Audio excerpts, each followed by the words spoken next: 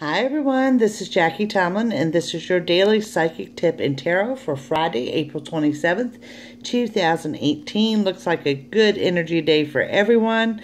I'm looking at a lot of good luck, some unexpected good news coming in, small wishes being granted, and a high drive for success.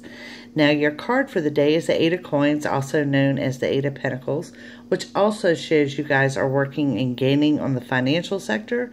Um, and you, some of you will see that this gentleman is climbing the ladder, ladder to success. This could also indicate raises, promotions, things of that nature, but definitely things are looking good on the financial front of things. Good luck and abundance. Now, your angel card for the day. Obstacles and blocks are lifted. All your good personal work and your positive energy have uh, shift have overcome previous obstacles and blocks are li lifted away.